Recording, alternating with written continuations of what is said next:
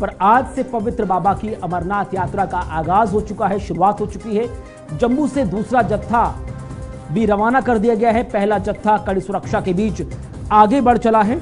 कश्मीरियों ने हार पहनाकर स्वागत किया है और पहला जत्था नुनवान बेस कैंप पहुँचा है। 30 जून को 300 3488 श्रद्धालुओं का पहला जत्था पहुँचा था, निकला था और दोनों जो यात्रा मार्ग है, चाहे वो बालटाल हो या पहलगाम हो दोनों ही यात्रा मार्गों में सुरक्षा काफ़ी मज़बूत कर दी गई है। बासठ दिनों की ये कुल यात्रा है, क्योंकि कहा जा रहा है कि करीबन 90 से 80 साल के बाद ऐसा शुभ संयोग मिला है कि इस बार सावन का पवित्र महीना एक नहीं, बल्कि दो दो महीने का है, दो दो मास का है।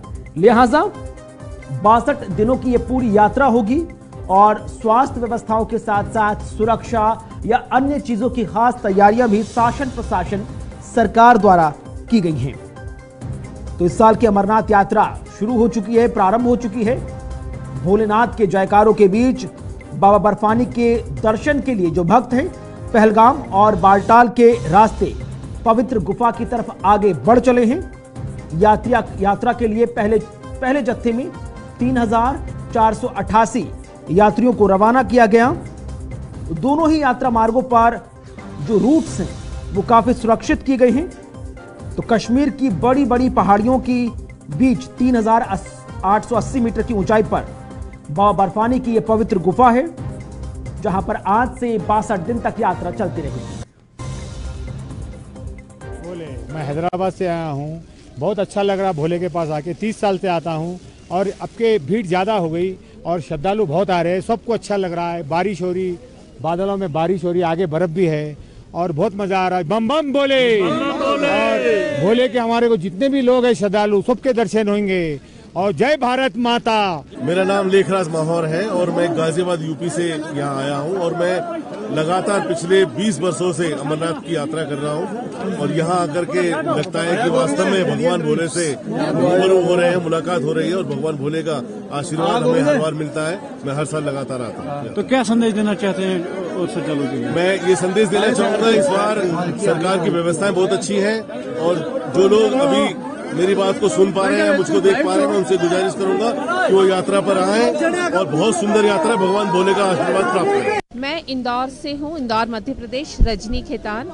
ये अमरनाथ की यात्रा में हमने पहली बार हम अटेंड कर रहे हैं। थोड़ा डर भी लग रहा है, मगर यहाँ जो व्यवस्था है और जो लोग आए हैं, कोई 20 बार, कोई 30 बार, कोई 25 बार, वो लोग हमें काफ़ी सपोर्ट कर रहे हैं कि डर की कोई बात नहीं है और यहाँ की व्यवस्था की बात की जाए। तो बालटाल में बहुत सारे कैंप लगे हुए हैं और उन्होंने कैंप में भी काफ़ी फैसिलिटी दी हुई है। इसके अलावा थोड़ी थोड़ी सी दूरी पर हम चलते हैं तो लंगर लगे हुए हैं और उन लंगर में बहुत अच्छी खाने की, पीने की, चाय नाश्ते की व्यवस्था की गई है और वास्तव में वो लोग परिवार की तरह, बहन जी थोड़ा सा ले लीजिए, भाई साहब थोड़ा सा ले लीजिए, हाथ जोड़कर बुलाकर दे रहे हैं। उसके साथ साथ वो इंस्ट्रक्शन भी दे रहे हैं कि झूठा नहीं छोड़ना है, झूठा छोड़ना पाप है, या आपको फाइव हंड्रेड रुपीज़ फाइन देना पड़ेगा। इसके अलावा मुझे एक बात और बतानी है कि इस बार गवर्नमेंट ने इस तरीके के कार्ड बनवाए हैं।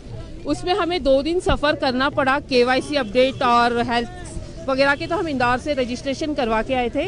मगर ये कार्ड बनाने के लिए और पर्सनल आपका डेटा को अपडेट करने के लिए काफ़ी मशक्क़त की गई है। जो कि हम सबके लिए सुरक्षा की दृष्टि से बहुत अच्छी है। रजनी खेतान, इंदौर, मध्य प्रदेश। जय बोले आज यहाँ पर डोमेल से हम लोगों ने पहला जत्था जो है का वो हम लोग यहाँ से छोड़ रहे हैं। और इस यात्रा के लिए मैं सभी की कामना करता हूँ कि हमारे ऊपर ईश्वर का आशीर्वाद बना रहे और यात्रा मंगल में चले।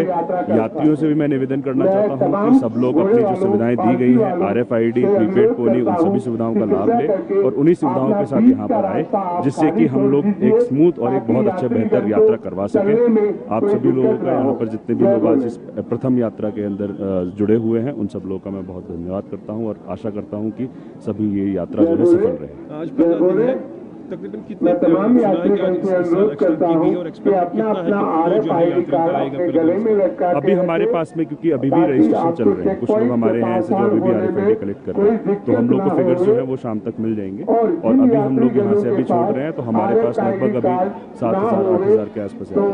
पिलग्रिम्स जो दो महीने की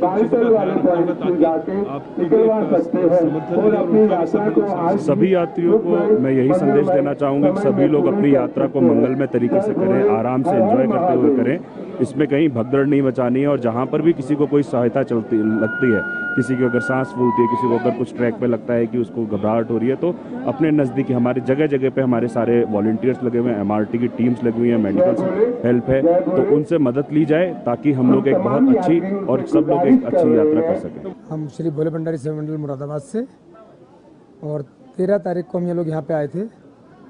ये हमारा बेस कैंप है और मेन भंडारा हमारा रेल रेलपत्री पे चलता है और सबसे बड़ी व्यवस्था लाइटिंग अरेंजमेंट जो मुरादाबाद द्वारा किया जाता है, इस समय अगर आप रेल रेलपत्री पे देखेंगे तो सारे पोल्स जगमगा रहे हैं पूरी तरीके से।